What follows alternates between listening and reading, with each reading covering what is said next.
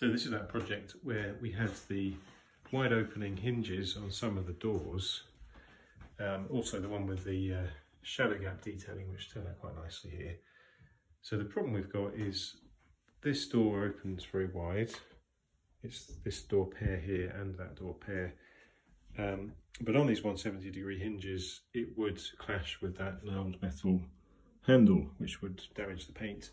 So the solution we're going with is on these 170 hinges, Blum provides an option to just pop this thing on.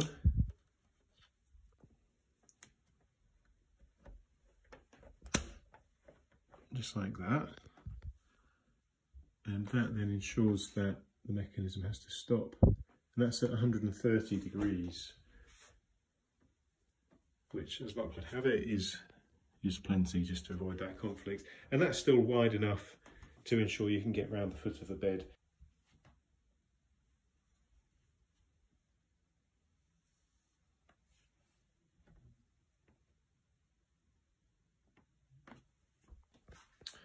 So that was a particular problem where the hinge side was against a handle.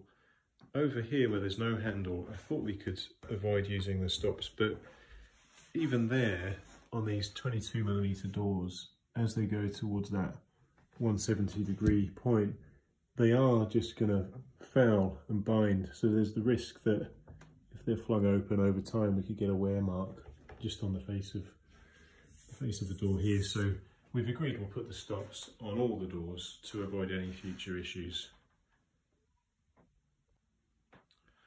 While we're here on this job, these are our sprayed one-piece CNC cut doors, uh, just in case anyone thought they were vinyl wrap. This is the finish that we're getting now. No joints because it is solid MDF. It's a three millimeter deep route into um, Fibropan Hydrofugo and we are getting a very good finish on that panel. So that's CNC machined and then sanded and to ensure that the door's balanced, we do that same, exact same route on the back. Well, that one's got a mirror on it, but underneath it, that does have the same recess.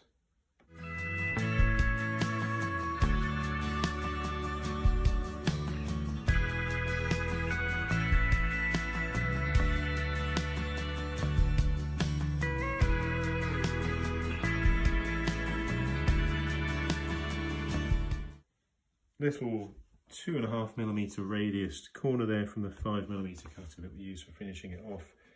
We think that looks fine, we don't square that off. So it's a very efficient production process and a very high quality door because there's really no possibility of any cracking joints or wood movement that you'd get with other methods of making doors.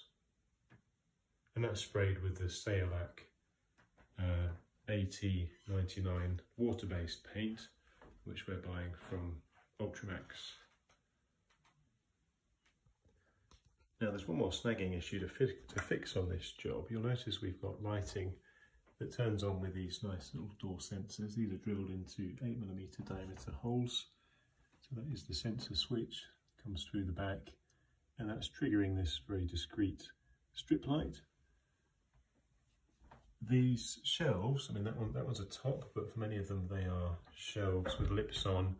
We prepared them with the lips in the workshop and mounted the switches in the workshop and I just forgot that as I was mounting it in this one prior to assembly, I forgot that this particular shelf is set back 90 millimeters.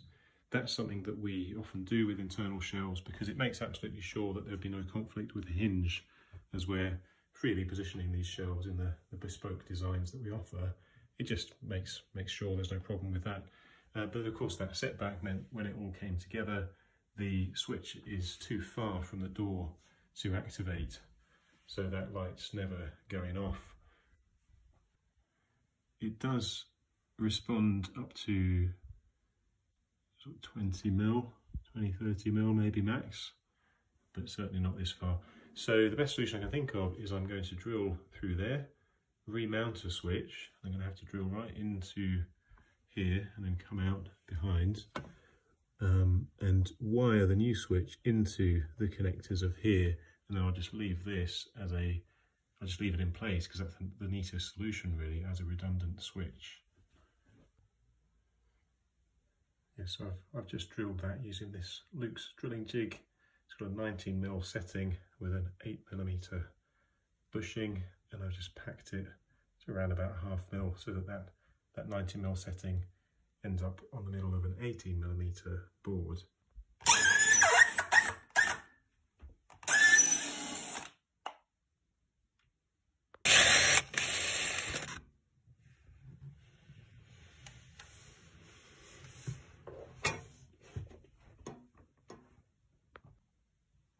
Okay, now I'm going to disconnect the lighting, just turn the power off to it when I start cutting cables. So I've taken this drawer out and that reveals where the socket for the lighting is and where we've hidden the lighting driver on the wall there. And while I'm just showing you this, these drawers, these were CNC made. So this is 18 millimeter Finsa melamine faced MDF all 18 millimeters and they're on the tandem the Blum tandem 560f runners which will cope with 18 millimeter sides. And while I'm doing this the customers raised an issue where all of the drawer fronts are just slightly angled back so they don't like that if they run their hand over it they can feel they're just all slightly leaning back. The fix for that is these little platforms that the drawer boxes rest on at the back of the runners. They can be raised so by raising the backs, we'll tilt the whole drawer box and tilt the, the front back to straight.